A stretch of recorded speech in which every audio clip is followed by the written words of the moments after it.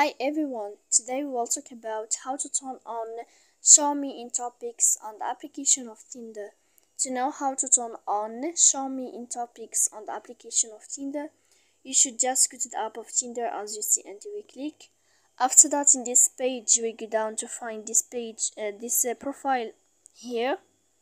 Then will find this page and will go to above in this sign when you find this page of settings, you will go down to search about the window of manage top picks like this and you will uh, enter to settings.